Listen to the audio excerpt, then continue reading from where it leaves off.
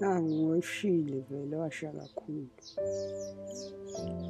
Washa kakhulu impela. asabe siphangisa siyicisha nje kulobo busuku ngamangala kusawo kanti Swaziland sekashiselwana uma ningaboni ngalisolinye bekalele angakhona ukukhuluma ashake like uza amakhaza because lesilonda besisikhulu kakhulu indlela ebekashe ngayo kwamshaya umkami kwamthatha kwamlahla phasi la.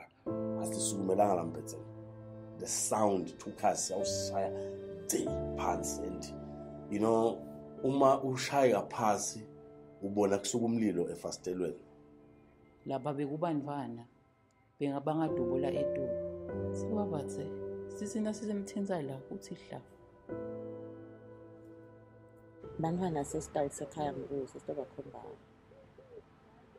lo bekushiwo ukuthi kwasetshenziswa ema-petrol bomb akusilo liqiniso leti tintfo letasebenziswa naku-athekwa kubhidlitwa lendlu noma ubuka eh le damage uyabona vele lo cha akusiwo umlilo loya Eyigazi lagcwalela endlini sisukume ehamba bembamba.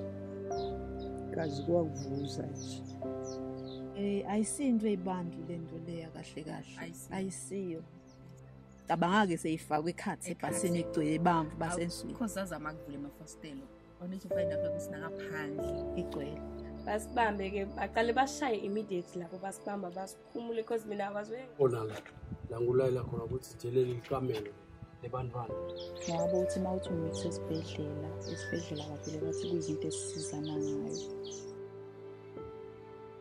bangishaya ngadzabuka ngoma ngathi nangidzabuka kwehla kwehla ingadi. Ngiyakhumbula nje le ngadi yeda ngala ngasemehlweni. Bathi angikhonanga-ke kuyesisula la ngasemehlweni ngoma lesa letandla do- dotimbili bese tivuvukile ikade ikude kakhulu bathi nje ngibonga nkulunkulu ukuthi unatholo ngikhona ngiyakhona khona emadini mhlawumbe